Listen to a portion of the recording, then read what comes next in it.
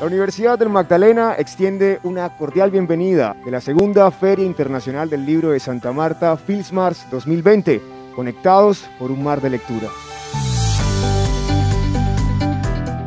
Esta feria es parte de ese compromiso que tiene la universidad por difundir y buscar nuevas formas de apropiar el conocimiento.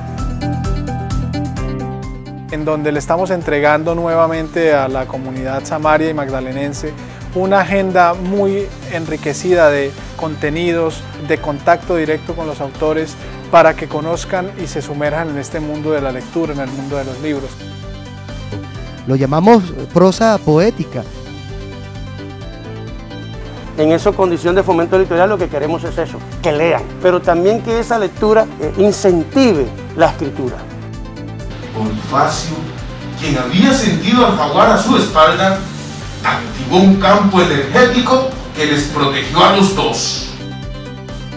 Aquí estamos en simultánea en talleres de lectura. Hijito, si estás cansado, duérmete.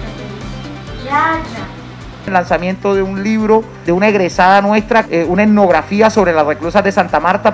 Yo como académica aporto mi lente y mi articulación con otras áreas del conocimiento para proveer soluciones. Y esa es parte de la tesis de este libro. El lanzamiento de textos fundamentales. Presentamos el libro de Turismo Sostenible, 10 consejos para lograrlo, escrito por la exministra Samaria, María Claudia Lacutir, para poder llevar a cabo un turismo más responsable, más sostenible, que facilitan la actividad turística.